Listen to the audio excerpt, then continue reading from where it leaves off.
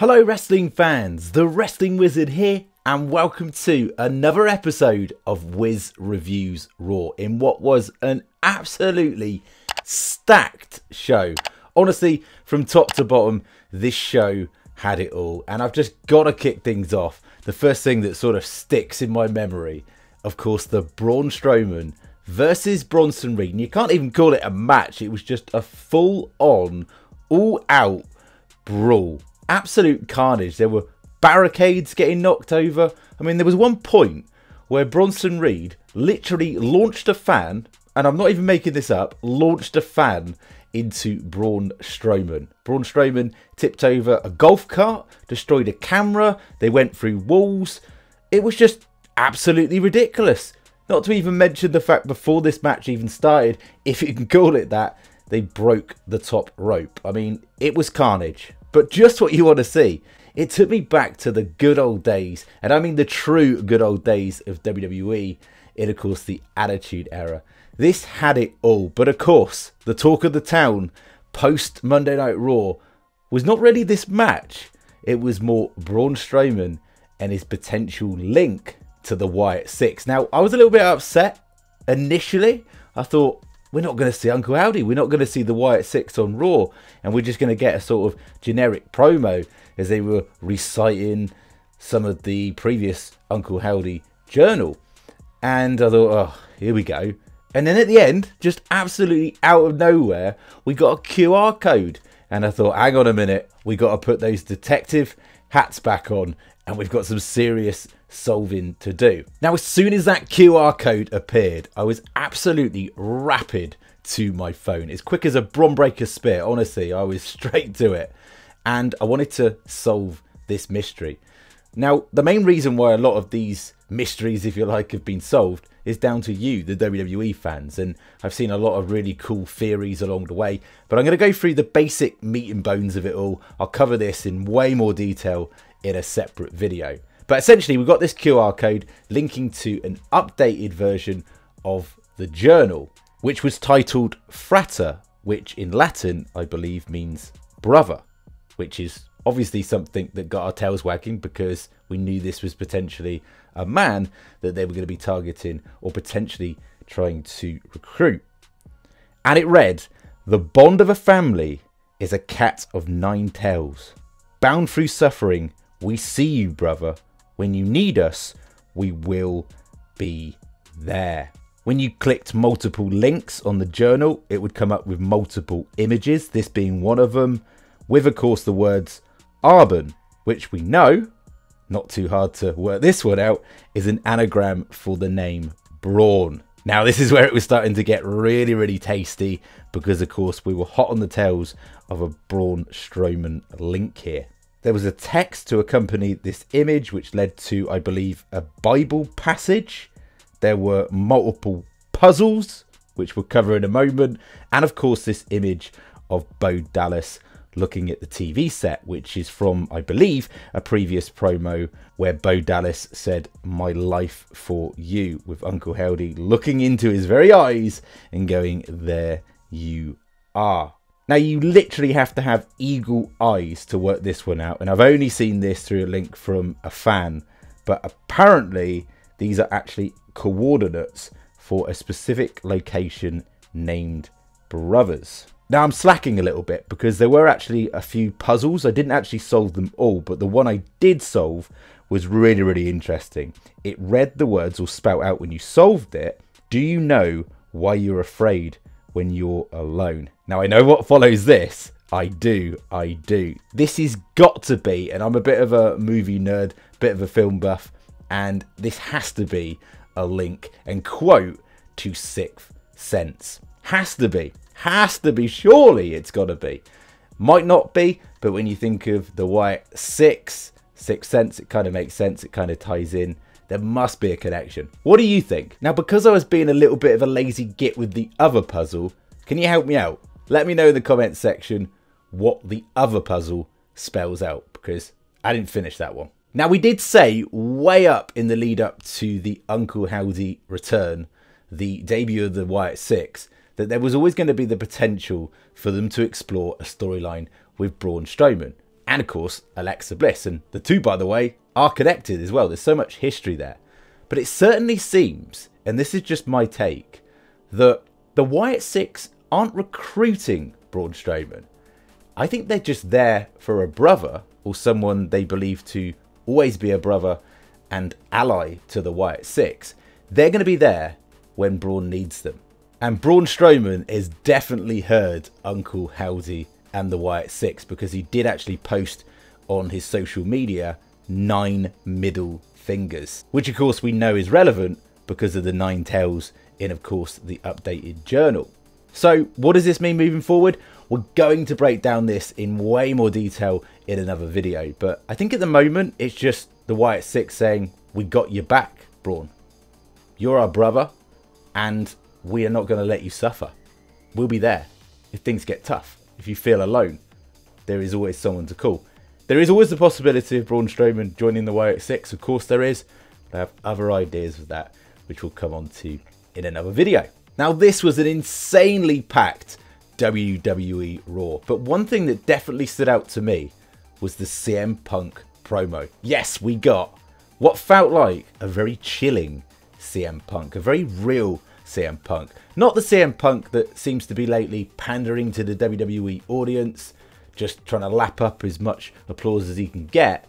This seemed like a CM Punk that means business against his little sister's wishes, against his wife's wishes, against the angel on his shoulder.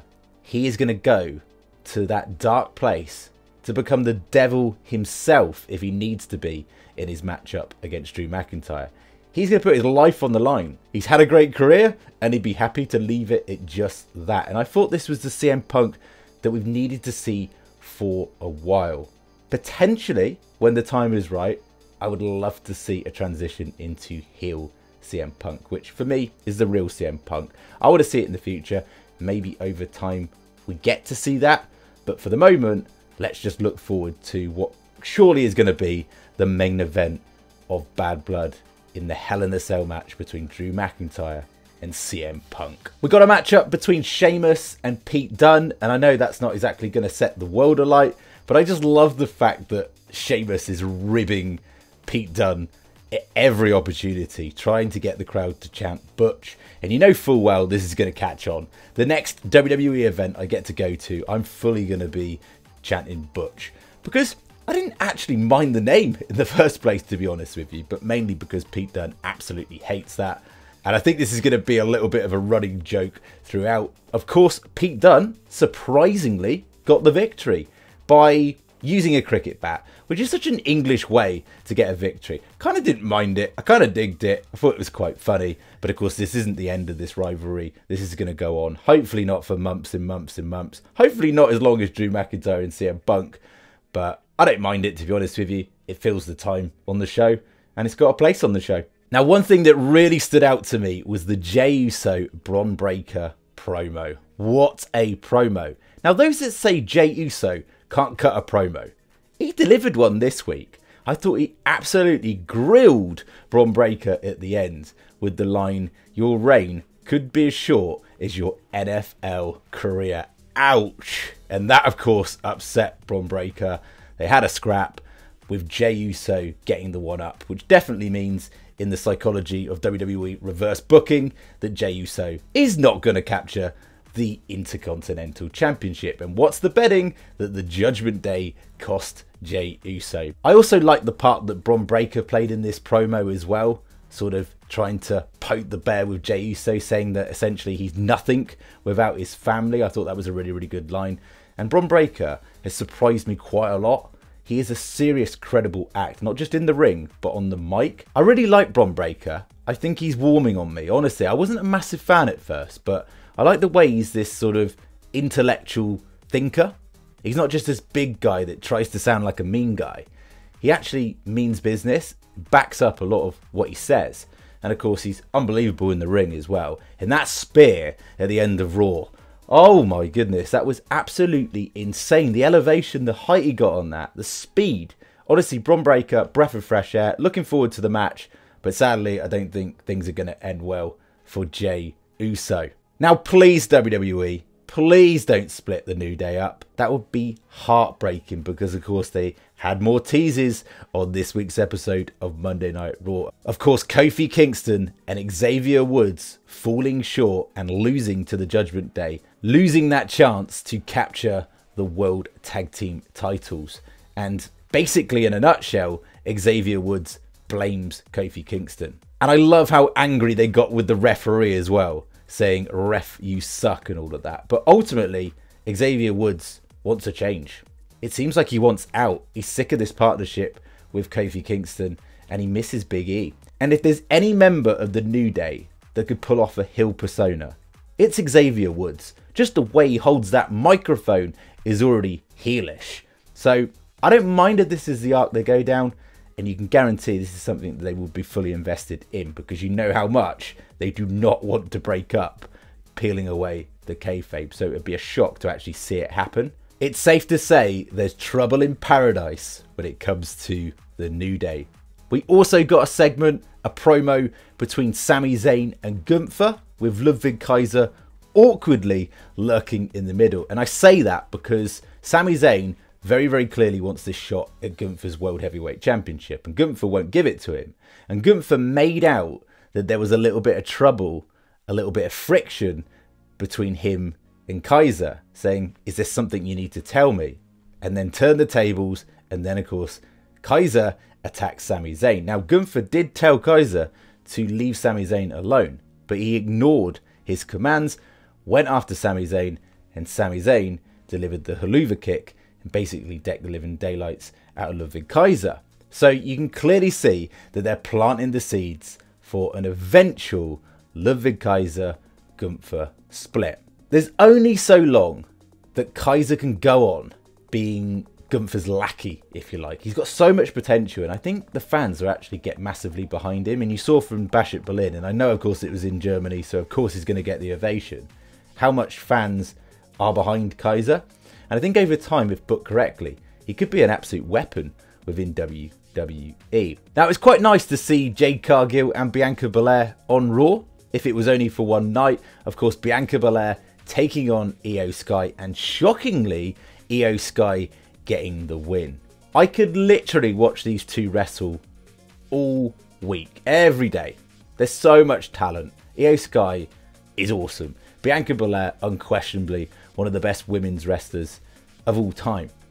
But for Iyo Sky to get the win was quite shocking. Even though it was a cheeky little roll up, I don't mind it. I don't mind it at all. You can see over time there's going to be this tease friction between Jade and Bianca, and I like it. And I do think there's a certain Miss Bliss that could potentially be getting involved down the line. Let's not forget that that Braun Strowman segment of course in link to Uncle Howdy in the Wyatt Sicks, was shortly after a Bianca Belair segment. The devil's in the detail in all of that, right? We also saw Natalya pick up a victory against Zoey Stark, which I'm pretty shocked about because it was only last week that Natalya, Zelina, and Lyra defeated PFC. So, what are they doing there when it comes to Pure Fusion Collective? I don't know. Remains to be seen. But happy to see Natalya get the victory, and you can see how happy she is since, of course, she signed her contract, re signed, should I say, with WWE. She's just happy to be there. And what an absolute workhorse. So, of course, we ended up closing the show with Damian Priest versus Dominik Mysterio. And predictably, of course, Damian Priest getting the victory. And predictably, of course, the Judgment Day or the new Judgment Day then delivering the beatdown afterwards. And then, predictably, once more, Jey Uso coming out and trying to save the day before getting speared the living daylights out of by Bron Breakker. Now, I've got to be honest, I'll be completely transparent. I'm not personally a fan of any Judgment Day angle, any new Judgment Day angle. I don't care for it. I care for Finn Balor. I think he's a class act. I care for Damian Priest and Rhea Ripley. But I don't particularly care for them as a collective, as the Terror Twins taking on the new Judgment Day. I just, I'm not that interested in it. It just doesn't float my boat. It's just not for me. I'm not that invested in it. And to be honest with you, I didn't pay that much attention when it came to that because we knew what was going to happen. We knew where it was going to lead. I'd like to see Rhea Ripley and Damian Priest go off in a different direction, but this feud could go on forever. It really could. But what do you think? Are you a fan? Get down in the comment section, share your thoughts and opinions. And this is not taking anything away from them as performers. Like Liv has killed it as a heel, and Dominik Mysterio, one of the best heels of all time, in my personal opinion. I'm just not really into the act as a whole. Just don't care. But what do you think? Get down in the comment section. Again, all your thoughts and opinions are welcome. And as always, it'd be very much appreciated if you could like the video, share the video, and even better, subscribe if you're new, and we'll catch you in the next one.